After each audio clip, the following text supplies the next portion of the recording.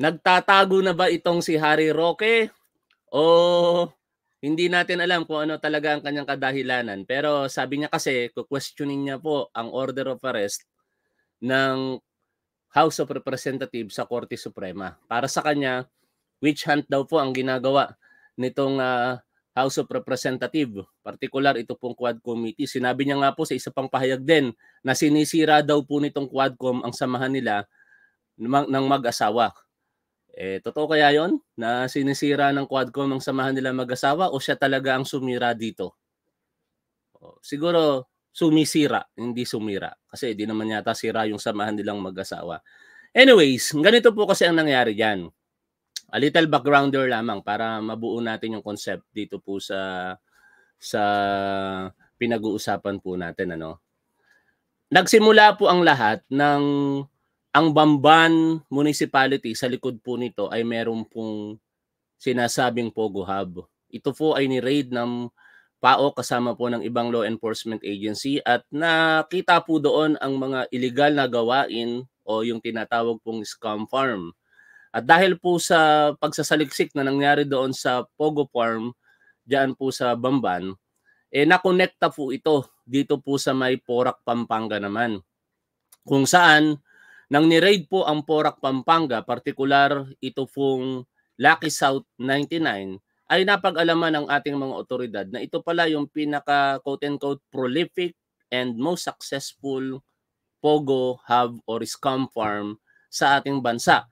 At ito rin po yung pinaka-notorious scam farm dahil nangyayari po sa likod ng mga pader nito ang samut-saring krimen katulad po ng torture, ng panluloko at pagpatay, human trafficking at iba pa.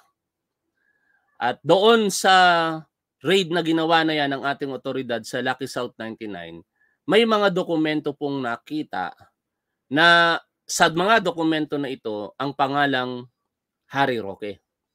Sinasabi ng Quadcom na ang mga ebidensya na hawak po nila o nakikita po nila ngayon na ipinapresenta sa House of Representatives ay overwhelming laban po dito kay Harry Roque. Pero siyempre, ang katwiran po ni Harry Roque, ito po ay walang katotohanan.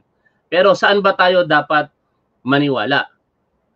Sa mga kongresista o dito kay Harry Roque?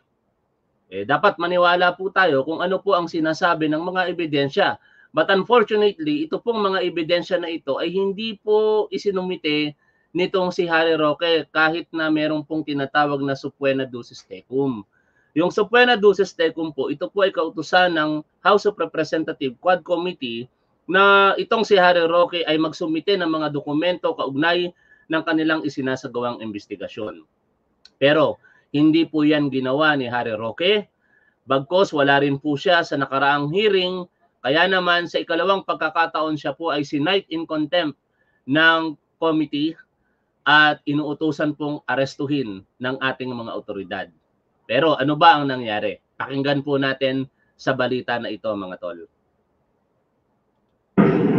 Isinilbi ng House of Representatives Sergeant at Arms sa law office ni dating presidential spokesperson Attorney Harry Roque ang arrest order bunsod ng pangalawang pagkontempt sa kanya sa Kamara dahil sa hindi niya pagsipot at pagsumite ng mga hinihinging dokumento ng komite. Pero hindi raw tinanggap ng staff ni Roque ang arrest order at nagbabantay pa rin ng mga tauhan ng PNP and CRPO sa labas ng law office para arestuhin si Roque. It was delivered sa law firm ni ni Harry Roque. All the uh, enforce, law enforcement agencies have been also informed about this order wala siya sa office uh-huh. and he cannot be located. Yan ha, parang nagtatago na itong si Harry Roque. Nasaan si Harry Roque ngayon? Pero siya naman po ay nagla-live streaming pa sa kanyang programa sa Facebook at YouTube. I do not know kung siya ay pumupunta pa sa SMNI program niya. Kasi kung siya ay pumupunta pa doon, baka maaresto siya. Kaya malamang sa malamang, eh umiiwas talaga itong si Harry Roque. Tingnan natin kung hanggang saan ang kamay ng batas dito. Kung nagawa ngang si Apollo Kibuloy ay maaresto, si Alice Guo o Go Waping, ito pa kayang si Harry Roque. Sige, subukan natin kung ano ang kakayahan ng ating mga otoridad when it comes naman dito kay Harry Roque. Kung siya ba ay mahuhuli o patuloy lamang na iiwas sa order of arrest ng House of Representatives. Ayon kay Quad Committee Lead Chairman Representative Ace Barbers, hinihintay nila ang mga dokumentong ipinangako aniya ni Roque na magpapaliwanag ng biglang pagtaas ng halaga ng kanyang kumpanyang Biancham Holdings Incorporated. overwhelming circumstantial evidence has been established of his links between uh, Attorney Roque and Lucky South 99 who operates an illegal pogo. During this period then, nakita rin natin na tumaas yung kanyang net worth. Malalaman namin na kinakailangan mayroong mga talagang illegal activities na involved yung mga resource persons namin tinawag, we will be asking the ombudsman, we will be asking the DOJ to investigate further and to file charges against these people. Sa isang text message, sinabi ni Roque, Ito, maganda tong nadinig natin na yan kung kung masasampahan ba talaga ng kaso si Harry Roque. Kasi matagal lang sinasabi na masasampahan ng kaso si Harry Roque pero hanggang ngayon, wala pa pong naisasampang kaso laban sa kanya. Sa parte naman ng kung ombudsman ba siya ay masasam siya ay uh, sasampahan, tingin ko hindi na eh kasi si Harry Roque ay isang pribadong individual na. Hindi na po siya lingkod bayan sa ngayon. Kaya kung siguro sasampahan siya ng kaso, maaaring sa prosecution service na po, office ng ating uh, Department of Justice and eventually sa Regional Trial Court kung ito po ay magpopol sa human trafficking na yun naman ang sinasabi ng PAOK. But I am hoping na kung meron talagang kaso itong si Harry Roque, isampa na po ninyo sa lalong madaling panahon kasi baka makapagtago pa ito. Yung order of arrest kasi ng House of Representatives, pwedeng questionin pa niya particular diyan po sa Supreme Court. Pero kung merong warrant of arrest mula sa korte, questionin niya man yan, eh, parang si Apollo Kibuloy lang din yan. Habang kine-question yung warrant of arrest, magpapatuloy ang ginagawang pag-aresto sa kanya that led to the eventual arrest nga nitong si Apollo Kibuloy. Okay, dapat aniyang tandaan na walang mahanap ang pulisya at prosecution Sabi ni Harry Roque, remember the police and prosecutor panel could not find evidence linking me to Fogo, so I am not involved in the case filed. O, yan na sinasabi ni Harry Roque. Pero sabi ng PAOK, ang dami daw mga ebidensya na naglilink sa kanya. Kaya sino ngayon ang kapanipaniwala? Hanggat wala pang kaso si Harry Roque, eh lumalabas na parang totoo pa itong sinasabi niya ngayon. Kaya ang hamon po natin sa PAOK, kaya Undersecretary Gilbert Cruz at sa spokesperson nito na si Winston Casio. Kung meron pong kinalaman si Harry Roque, pakibilis-bilisan nyo na po yung pagsasampa ng kaso. Para ito pong mga sinasabi ni Harry Roque ay may debunk na. Yan o, oh, ang liwanag po ng sinasabi niya rito. Ang mga police at prosecutor ay hindi makahanap ng ebidensya para i-link siya sa Pogo. So hindi daw po siya involved sa mga isinampang kaso. O, patunayan po natin sa publiko mga sir na itong si Harry Roque kung talagang may mga ebidensya kayo ay sampahan nyo na ng kaso once and for all para talagang gumulong na yung justisya in particular sa mga naging biktima po ng Pogo. Na anumang ebidensyang mag-uugnay sa kanya sa Pogo, tinawag din ni Roque na witch hunt ang pilit aniyang pagpapasumiti sa kanya ng private documents ng kanyang pamilya na wala aniyang kinalaman sa investigasyon sa Pogo. Now, sabi niya, siya po'y tumatanggi na isubmit ang mga dokumento na yan dahil ito daw po ay hindi related sa Pogo inquiry. Sinungaling yata itong si Harry Roque, eh, no? kasi nung nasa House of Representatives siya, nang tinanong po siya ng mga kongresista, partikular si Congresswoman Luis Tro, sinambit niya doon na kanyang isusumite ang mga dokumento na yan. Kaya nga yun po yung pinanghawakan ng mga kongresista sa kanya eh. At dahil nag-fail po siyang gawin yan, sinight in contempt siya.